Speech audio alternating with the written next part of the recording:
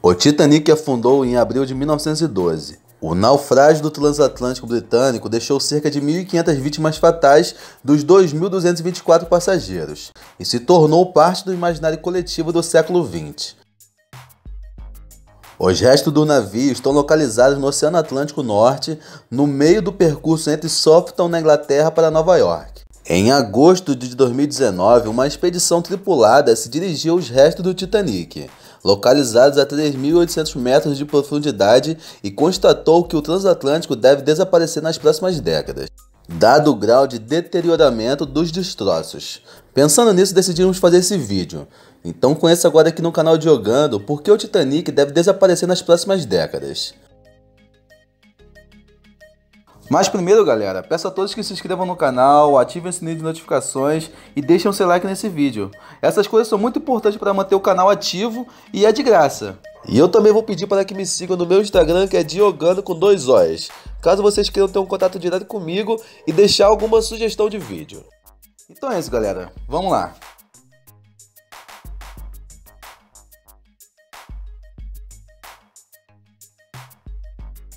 A expedição foi liderada por Victor Vescovo, um ex-oficial da Marinha Americana que fundou a empresa de exploração submarina Calada Oceanic, ao lado de Park Stephenson, historiador especializado no naufrágio do Titanic.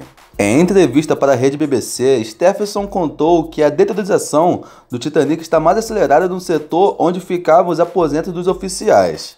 A banheira do capitão, uma imagem querida pelos entusiastas do Titanic, já não existe mais.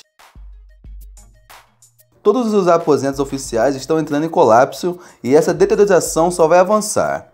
O Titanic está se tornando parte da natureza. Esse processo está acontecendo por conta da corrosividade do sal marinho aliado às correntes marinhas e a bactérias que consomem o metal da estrutura.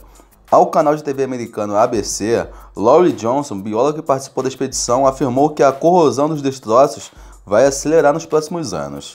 A principal bactéria que está devorando o Titanic é a Alomonas titanicae, descoberta em 2010 em uma expedição não tripulada aos destroços. Ela é capaz de sobreviver às condições quase inabitáveis da área do destroço, localizada a cerca de 3,8 km para baixo na superfície do mar. As projeções apontam que os restos do Titanic terão desaparecido por completo até o fim da década de 2030 como os restos do Titanic foram descobertos. O naufrágio do Titanic ocorreu na madrugada de 15 de abril de 1912. Porém, seus destroços só foram encontrados 73 anos depois, em setembro de 85, por meio de um submarino não tripulado.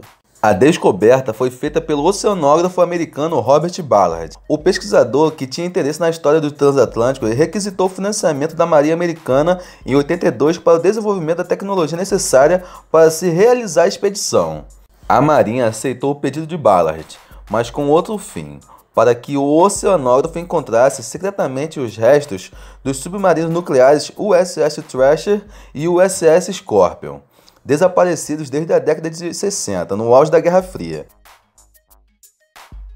Após o fim bem-sucedido dessa missão, o oceanógrafo pôde usar a tecnologia desenvolvida para procurar pelo transatlântico. Em entrevista à National Geographic em 2008, Ballard revelou que a Marinha não gostou de toda a publicidade em torno da descoberta do Titanic, temendo que a missão secreta da busca dos submarinos fosse levada a público. Abre aspas mas todos estavam tão focados na lenda do Titanic que nunca conectaram os pontos.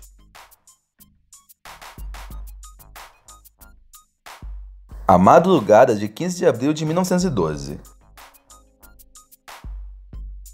O Titanic afundou durante sua viagem inaugural, com o naufrágio ocorrendo dois dias depois da partida de Southampton. À época, o navio era apresentado como inafundável pela operadora, a empresa britânica White Star Line. O naufrágio aconteceu após a colisão do navio com um iceberg, o que provocou rasgos na estrutura do transatlântico, permitindo que a água entrasse. Em 2015, uma foto do iceberg foi colocada a leilão, com lances entre 15 e 20 mil dólares. A imagem foi feita por um membro da tripulação do navio alemão Prince Adalbert, que passou pelo local no dia seguinte ao naufrágio. Apesar de ter recebido avisos sobre a presença abundante de iceberg na região, a tripulação do Titanic não avistou o gelo. Naquela noite, o mar estava calmo e não era possível ver a água batendo na base dos icebergs na região. O Titanic afundou cerca de 3 horas depois da colisão. Apenas 705 passageiros conseguiram sobreviver ao naufrágio. Ao todo, o transatlântico tinha 20 botes salva-vidas que poderiam transportar 1.178 pessoas dos 2.224 passageiros, com cada um levando cerca de 65 pessoas. Porém, muitos deles operaram abaixo da capacidade máxima, dando preferência para o transporte dos passageiros da primeira classe. Os sobreviventes foram resgatados na madrugada de 15 de abril de 1912 pelo navio Carpathia. O Titanic no imaginário popular. O naufrágio do Titanic passou a povoar o imaginário popular do século XX. Por conta disso, muitas teorias da conspiração foram criadas ao redor do desastre. Uma delas diz que o naufrágio ocorreu em razão de uma maldição envolvendo o transporte de uma múmia egípcia no compartimento de carga. Anos depois, foi provado que nenhum sarcófago foi despachado por qualquer passageiro do transatlântico. Outra se baseia em um livro escrito em 1898 pelo autor americano Morgan Robertson. O romance é titulado Futilidade ou o Naufrágio de Titã e conta a história do transatlântico Titã, que naufraga no Oceano Atlântico após colidir com um iceberg. Teóricos da conspiração passaram a ver o livro como uma espécie de profecia para o que aconteceria em 1912. O Titanic no cinema.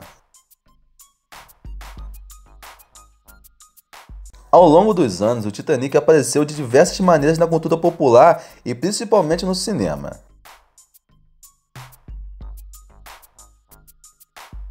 O filme Saved from the Titanic, Salva do Titanic em tradução livre, foi escrito e estrelado por Dorothy Gibson, uma das sobreviventes do desastre, sendo lançado 29 dias após o naufrágio.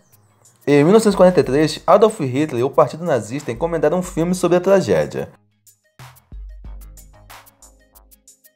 A produção foi supervisionada por Joseph Goebbels, ministro da propaganda do Terceiro Reich, e contava a história de Peterson, um alemão a bordo do navio que tenta evitar a tragédia, enquanto os britânicos da White Star Line são retratados como os grandes vilões da história. A produção mais famosa envolvendo a tragédia do Titanic foi lançada em 97, quando o cineasta americano James Cameron produziu o filme Titanic, estrelado por Leonardo DiCaprio e Kate Winslet. A trama foi inspirada por Romeo e Julieta e cativou a crítica e o público. Titanic é a terceira maior bilheteria de todos os tempos, com 2 bilhões e 180 milhões de dólares arrecadados ao redor do mundo, ficando atrás apenas de Vingadores Ultimato e Avatar. A construção do Titanic 2. Em 2012, na ocasião do centésimo aniversário do naufrágio, o bilionário australiano Clive Palmer anunciou que construiria o Titanic 2, uma réplica do transatlântico feita com tecnologias contemporâneas. A ideia de Palmer é que a viagem inaugural ocorra em 2022, com o navio saindo de Dubai em direção a Southampton, e posteriormente seguir na mesma rota do Titanic original. O projeto de Palmer comporta 2.345 passageiros espalhados em 835 cabines divididas em primeira, segunda e terceira classe, assim como no primeiro Titanic.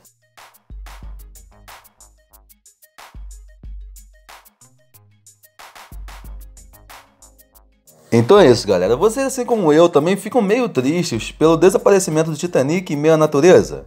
É, né? Mas fazer o que, né? A vida é assim. Me diga aqui nos comentários o que acham e fique à vontade para compartilhar esse vídeo com todos. Não esqueça de se inscrever no canal e deixar seu gostei nesse vídeo. Até a próxima. Fui!